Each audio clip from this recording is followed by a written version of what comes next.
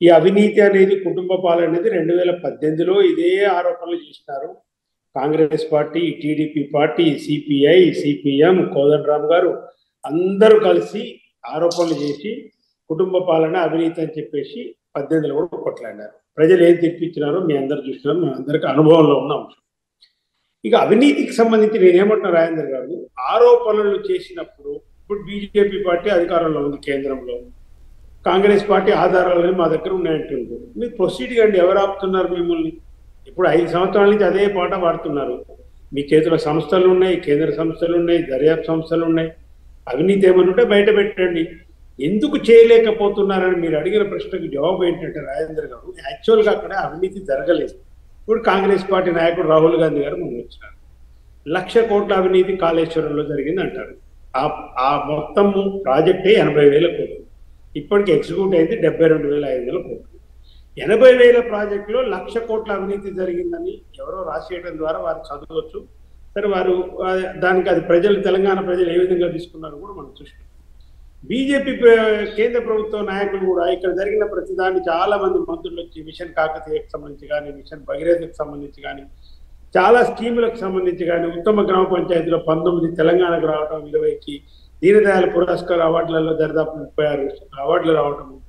కాబట్టి ten years డెవలప్మెంట్కి సంబంధించి కానీ మిగతా వాటికి కూడా కేంద్ర ప్రభుత్వం నిర్ణయించిన క్రైటీరియాస్ ఆర్బీఐ కానీ నీతి ఆయోగ్ కానీ వాళ్ళ దాని ప్రకారం వేయాలా పర్ క్యాపిటల్ ఇన్కంలో తెలంగాణ ముందున్న మాట వాస్తవం దేశంలో మూడు లక్షల పదిహేడు వేలు.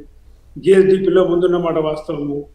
పవర్ యూటిలైజేషన్ యావరేజ్లో నెంబర్ వన్గా తెలంగాణ ఉన్నమాట వాస్తవం ఫిఫ్త్ కాంట్రిబ్యూటర్ జీడిపిలో ఫిఫ్త్ కాంట్రిబ్యూటర్ తెలంగాణ ఇవాళ ఆ స్థాయిలో ఉన్నమాట వాస్తవము. ఇవన్నీ ప్రగతి సూచికలు మరి. ఈ సూచికలు దేశానికి సంబంధించి వచ్చే వరకనేమో బీజేపీ నాయకులు ఇవే చెప్తారు. పర్ క్యాపిటల్ ఇన్కమ్ జీడిపి తర్వాత ఇవన్నీ చెప్తారు.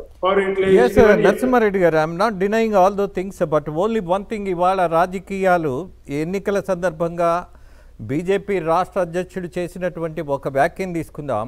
లక్షన్నర కోట్లు ఖర్చు పెట్టినటువంటి కాళేశ్వరంలో నాలుగు వందల టీఎంసీలను మేము ఖచ్చితంగా ప్రజలకు పంచుతాం. నీరు పారేట్టుగా చూస్తాము అన్నటువంటి పరిస్థితుల్లో ఇవాల్టికి కూడా ఆ సంఖ్యను చేరలేకపోయింది. ఈ ప్రాజెక్టు మరి అత్యంత ఖరీదైనటువంటి లోపభూయిష్టమైనటువంటి అలాగే అవినీతిమయమైనటువంటి ప్రాజెక్టు అని రాష్ట్ర అధ్యక్షుడు మాట్లాడుతున్నారు. దీని మీద ఏం చెప్తాం? ఇప్పుడు కిషన్ రెడ్డి గారు రాష్ట్ర పార్టీ అధ్యక్షుడిగా వారు సరే ఎన్నికల టైంలో రాజకీయ విమర్శలు చేయొచ్చు కానీ దాంట్లో ఎలాంటి పసలేని విమర్శలుగా మనం చూడాలి. ఎందుకంటే కిషన్ రెడ్డి గారు కేంద్ర మంత్రి గారు కూడా. అంటే కాళేశ్వరానికి సంబంధించిన పర్మిషన్లు అన్ని సిడబ్ల్యూసి పర్మిషన్లు హైడ్రాలజికల్ పర్మిషన్స్ ఎన్విరాన్మెంటల్ పర్మిషన్స్ అన్ని కూడా కేంద్ర ప్రభుత్వమే ఇచ్చింది దానికి సంబంధించి. దానికి లోన్ కూడా పవర్ కార్పొరేషన్ ఆఫ్ ఇండియానే లోన్ కూడా ఇచ్చింది. రెండవది మీ రెండు వేల పద్నాలుగు కంటే ఉన్న వరి ధాన్య ఉత్పత్తి ఏంది? ఈ రోజు ఏంది? కిషన్ రెడ్డి గారికి తెలుసు. అరవై రెండు లక్షల కోట్లు ఉన్న ఆ, అరవై లక్షల టన్నులు ఉన్న వరి ధాన్యం ఇవాళ దరిదాపు రెండు రెండు వందల డెబ్బై రెండు లక్షల టన్నుల అంటే రెండు కోట్ల పైన మూడు కోట్ల దరిదాపు వరి ధాన్యం పండి ఇదంతా విస్తీర్ణం జరిగింది స్థిరీకరణ జరిగింది వ్యవసాయాభివృద్ధి జరిగింది. ఇవన్నీ కూడా కేంద్రం లెక్కలు. మన దగ్గర నుంచే కోటి పదిహేను లక్షల ఎఫ్సీఐ కూడా ప్రొక్యూర్ చేసింది. నరసింహారెడ్డి గారు ఇప్పుడు మీరు చెప్పినటువంటి సంఖ్యల్లో వాస్తవమే ఉంది.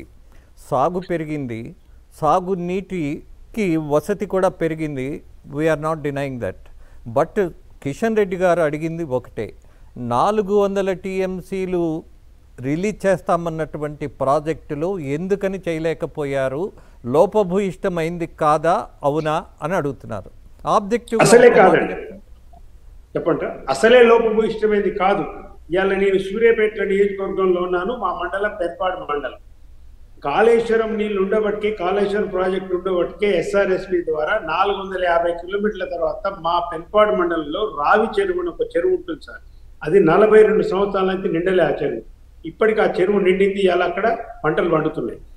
నీళ్ళు నేను అదే అంటున్నాను. విస్తీర్ణం చూసి కూడా కిషన్ రెడ్డి గారు మాట్లాడితే లోపభూయిష్టమైన ప్రాజెక్ట్ అయితే పర్మిషన్లు ఎందుకు ఇస్తారండి లోపభూయిష్టమైన ప్రాజెక్ట్ అయితే? లోపభూయిష్టమైన ప్రాజెక్ట్ అయితే కేంద్ర ప్రభుత్వం అనుమతులు ఎందుకు వస్తాయండి?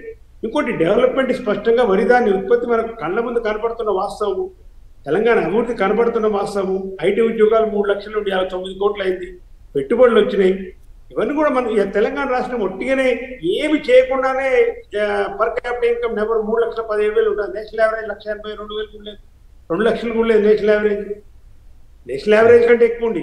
పవర్ యూటిలైజేషన్లో నెంబర్ వన్ ఉండి అలా ఇవన్నీ కేంద్ర ప్రభుత్వ లెక్కల ప్రకారం కదా మేము చెప్పేది. కానీ రాజకీయ విమర్శలు చేస్తామంటే రాజేంద్ర గారు రాజకీయ విమర్శలు వేరు. ఇప్పుడు మేము కూడా ఆరోపణ వాళ్ళు కూడా మా మీద ఆరోపణలు చేయొచ్చు. కేసీఆర్. గారు అట్లని ఇట్లని కానీ యాక్చువల్ ఫ్యాక్ట్స్ కిషన్ రెడ్డి గారికి తెలియదని నేను అనుకోను. ఎన్నికల సందర్భంలో కొన్ని మాటలు వాళ్ళ వాళ్ళ మనసుకు తెలుసు. ఆ లెక్కలని కేంద్ర మంత్రి గారు వారు. మామూలు పొజిషన్లో లేరు కదా. కేంద్ర మంత్రి గారు గారు అట్లా లేకుండా ఉండదు. అయితే నేనేమంటున్నా ఈ పొలిటికల్ సందర్భంగా ఇక్కడ న్యాయ నిర్ణేతలు ప్రజలు. ప్రజలు ఏం ఆలోచిస్తున్నారు ఎవరికి క్రెడిబిలిటీ ఉందనేది ఒక క్వశ్చన్ వస్తుంది రాజేంద్ర గారు. నేను ఊర్లలో తిరుగుతూ ఏమొస్తుందంటే కాంగ్రెస్ పార్టీ కొన్ని హామీలు ఇచ్చింది. ఇంతవరకే బీజేపీ పార్టీ వాళ్ళైతే వాళ్ళ మేనిఫెస్టో ప్రకటించలేదు. ఏమి ఇస్తున్నారు అనేది చెప్పలేదు బహుశా ఈ వారం రోజుల్లో ఇస్తామని చెప్పినారు. అభ్యర్థులు కూడా సెకండ్ లిస్ట్ వస్తుంది. అభ్యర్థులు వారి ఇష్టం వారు ఎప్పుడైనా ప్రకటించుకోవచ్చు. నామినేషన్ డేట్ వరకు అవకాశం ఉంది. దాని గురించి నేను ఆ లోతుల్లోకి పోను. కానీ బీజేపీకి ఒక అంశం ప్రేమేందర్ రెడ్డి గారు నేను అడిగేది ఏంటంటే అభ్యర్థులు దొరకక మీరు లిస్టు ప్రకటించడం లేదా అనేది వాళ్ళు క్లారిఫై చేయాలి. ఎందుకంటే ఎప్పుడు జాయిన్ చేసుకుందో ఆరపల్లి మోహన్ రావు గారు మనం జాయిన్ అయ్యారు. ఆయన కొండ కప్పని ఇప్పుడు టికెట్ ఇచ్చినారు.